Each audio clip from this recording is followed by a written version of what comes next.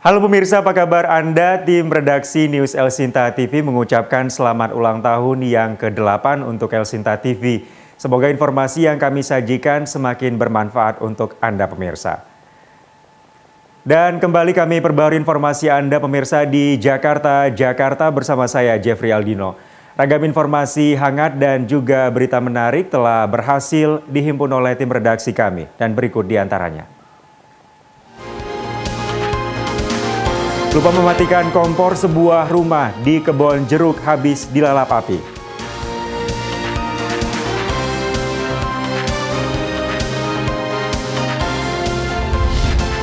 Terjaring melanggar ketertiban umum, puluhan orang jalani sidang tindak pidana ringan.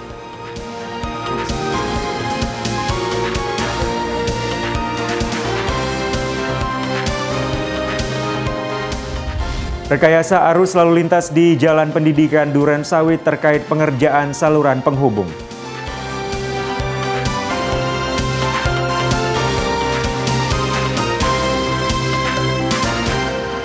Dan pemirsa inilah Jakarta, Jakarta selengkapnya.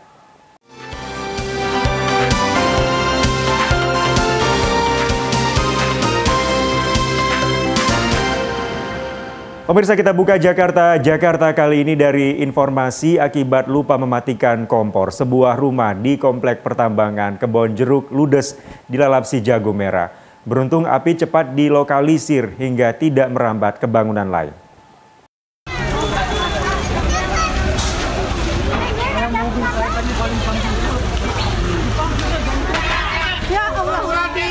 Api melahap habis sebuah rumah di Jalan Komplek Pertambangan Kebon Jeruk, Jakarta Barat.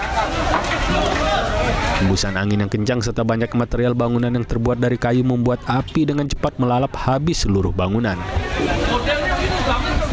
Peristiwa terjadi saat sang pemilik rumah keluar dan sempat melihat ada aktivitas memasak di dapur. Kalau kebakaran tadi habis ada orang masak, orang masak kan bersihin rumah. Adik saya meninggal. Bersihin rumah yang di bawah. Lagi bersih bersih, nggak taunya kira-kira satu jaman sudah kebakar pak. Oh berarti rumah itu dalam keadaan kosong ya Pak? Kosong, betul kosong. Tapi lagi ada sebelumnya ada aktivitas masak. Ada masak, tapi orang udah udah nggak ada, udah ke kantin. Oh berarti ya dari dari dari, dari dapur ya Pak awal api. Dapur. Api diduga berasal dari kompor yang lupa dimatikan penghuni rumah. Eh, terima kasih sementara eh, sementara kami dapat berita dari telepon ya mengabarkan bahwa di komplek pertama ini terjadi lima kebakaran ya kita belum tahu kita luncurkan dari terdekat dari pos jalan C dan dari selatan Grogol Grogol Utara ya. Ternyata memang betul terjadi kebakaran satu buah rumah kondisi kosong. Gitu. Ada korban jiwa nggak Pak ini?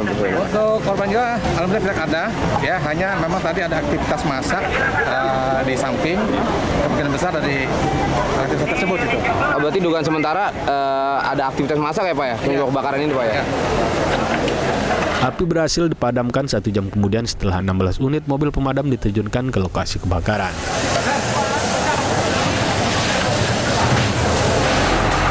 Kontributor El Sinta TV, Jakarta. Sementara itu pemirsa api juga membakar sebuah alat berat pengangkut kontainer di pergudangan terpadu kereta api logistik di Pademangan, Jakarta Utara. Diduga kebakaran terjadi akibat arus pendek listrik saat pekerja mengisi bahan bakar ke kendaraan besar ini.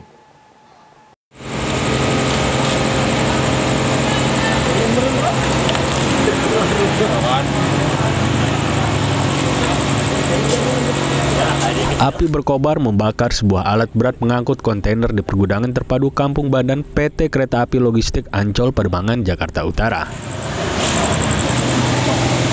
Petugas dari Suku Dinas Pemadam Kebakaran Jakarta Utara dibantu petugas pemadam Jakarta Barat langsung berupaya memadamkan api. Diduga kebakaran terjadi akibat arus pendek listrik saat seorang pekerja mengisi bahan bakar di kendaraan besar ini. Dengan kondisi stop kontak masih menyala. dan alhamdulillah sudah bisa diatasi hal ini karena diinginkan dalam hal ini eh, ada komponen pemadaman kurang kurang lebih prediksi kita uh, 100 100 juta ya, karena bahan-bahan itu komponen komponennya dengan suatu uh, semacam komputer. Oh gitu. Siap. Bang itu berarti uh, penegasan aja bang, itu lagi ngisi bahan bakar ya berarti ya? Iya betul. Uh, setelah pengisian bahan bakar itu switchnya masih menyala. Oh switchnya masih menyala. Ya. Beruntung tidak ada korban jiwa dalam peristiwa kebakaran ini, namun kerugian ditaksir mencapai ratusan juta rupiah. Kontributor Elsinta TV, Jakarta. Kita beralih ke informasi lain pemirsa diduga rapuh termakan usia sebatang pohon kedondong berusia puluhan tahun di Kabupaten Bekasi tumbang. Akibatnya seorang warga yang tengah melintas tertimpa hingga tewas di tempat.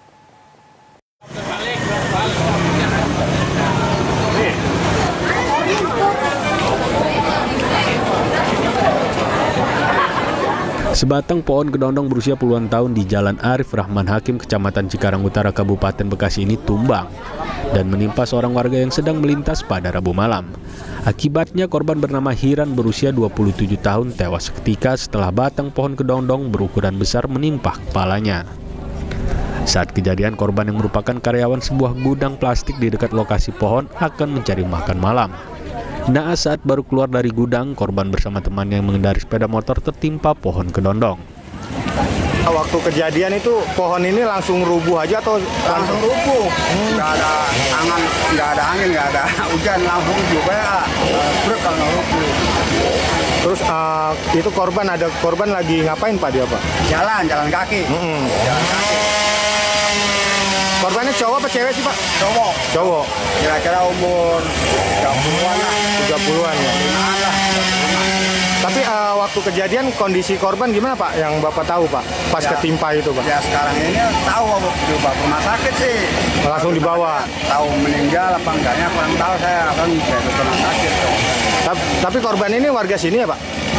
kayaknya orang perantauan kayaknya Tapi kerjanya di sini atau gimana? nah di situ tuh di gudang Oh, kayak orang perantauan Perantauan. Iya. pak ini pohon emang udah lama pak ya? Udah tua ya?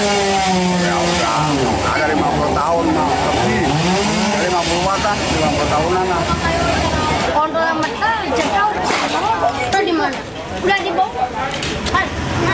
Saksi ya, saksi dan korban ya keluar mau keluar makan ya, cari makan menggunakan eh, sepeda motor yaitu yang dikemudikan oleh eh, saudara Widianto ya. Nah ini sama-sama satu daerah dari Purbalingga ya. Terus kemudian eh, mereka berboncengan ya, berboncengan ah, mendengar ada bunyi kayak pohon mau tumbang, mereka yang di belakang itu turun. Nah begitu yang belakang turun, yang depan tuh yang langsung naik motor aja. Kalau mungkin dia tuh naik motor, ya mungkin selamat gitu. Turun akhirnya malah ya kena eh, kerobohan daripada pohon tumbang ini. Jasad korban yang terjepit batang pohon langsung dievakuasi dan dibawa ke rumah sakit terdekat, sementara petugas damkar yang tiba di lokasi langsung mengevakuasi batang pohon. Kontributor Elsinta TV, Bekasi. Pemirsa usai jeda Jakarta, Jakarta akan hadir kembali dengan ragam informasi menarik lainnya. Tetaplah bersama kami.